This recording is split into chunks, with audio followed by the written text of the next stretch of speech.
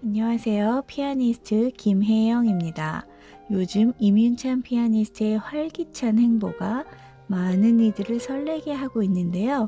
이번 포스팅은 임윤찬 피아니스트의 기획사인 목 프로덕션이 언급한 피아니스트 임윤찬의 하반기 관련 소식을 모아서 짧게 정리해 드리려고 합니다. 임윤찬 피아니스트는 지난 9월 20일 국가 브랜드 진흥원이 수여하는 2022 국가 브랜드 대상에서 예술 부문 대상을 수상하였습니다. 국가 브랜드 대상은 국가 브랜드와 국가 이미지를 빛낸 인물이나 단체에게 국가 브랜드 진흥원에서 시상하는 의미 깊은 상입니다. 이윤찬 피아니스트는 이 기간 동안 북미 투어 중이어서 대리 수상을 했다고 합니다. 다음 소식입니다. 반 클라이번 유튜브 채널이 구독자 10만을 넘기면서 실버 버튼을 받았습니다. 저와 여러분의 구독이 실버 버튼을 안겨준 것이겠지요. 북미 투어 중인 이민찬 피아니스트가 반 클라이번의 유튜브 실버 버튼을 들고서 찍은 인증샷 사진이 SNS에 올라왔었습니다.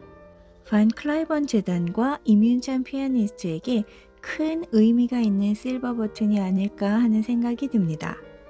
다음 소식입니다. 임윤찬 피아니스트는 10월 5일에 롯데 콘서트홀에서 원 코리아 오케스트라와 함께 정명훈 지휘자의 지휘로 베토벤 피아노 협주곡 제5번 황제를 협연했습니다. 연합뉴스 김용래 기자에 의하면 이민찬 피아니스트의 정확하고도 우아한 황제 연주가 끝나자 마에스트로 정명훈은 만면에 번져 나오는 미소를 감추지 못했다고 합니다. 정교하면서 기품이 넘치는 맑고 낭만적인 연주에 관객들은 홀린 듯 숨을 죽여 감상했고 마지막 악장이 끝나자마자 힘찬 박수와 환호로 화답했다고 하네요. 이날 임윤찬 피아니스트는 앵콜로 페데리코 몸포우의 정원의 소녀들과 스크리아빈의 앨범 리프 소곡과 시곡을 앵콜곡으로 선사했다고 합니다. 10월 6일에는 전남대 민주마루에서 홍석원 지휘자와 광주 시향과 함께 다시 베토벤의 황제를 협연했습니다.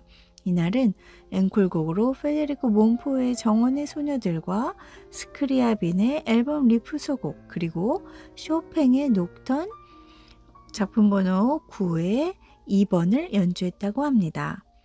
이 곡은 8월 23일 교보 노블리에 콘서트와 27일 개총 클래식 축제에서 멘델스존 피아노 협주곡 1번을 연주하고서 앵콜곡으로 연주했던 곡이기도 합니다. 이민찬 피아니스트는 10월 8일에는 통영국제음악당에서 홍석원 지휘자와 광주 시향과 함께 다시 베토벤의 황제를 협연했습니다.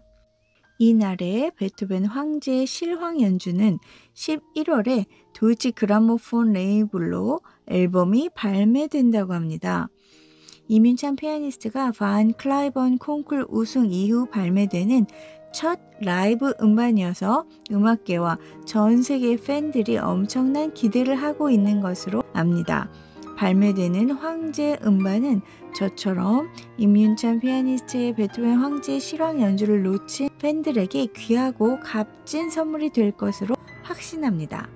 임윤찬 피아니스트는 오는 12월 3일에 일본 도쿄 산토리홀 데뷔를 앞두고 있고 2023년 1월 18일에는 영국의 런던 위그모어홀 데뷔를 앞두고 있습니다.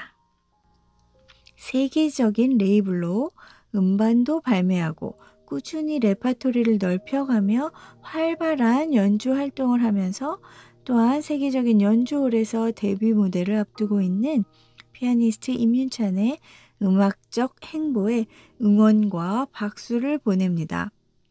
끝까지 들어주셔서 감사합니다. 여러분의 구독과 좋아요는 저에게 큰 힘이 됩니다. 이제까지 피아니스트 김혜영이었습니다. 감사합니다.